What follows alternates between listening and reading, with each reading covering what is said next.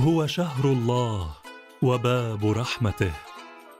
هو أنس المساكين وحبل رجائهم.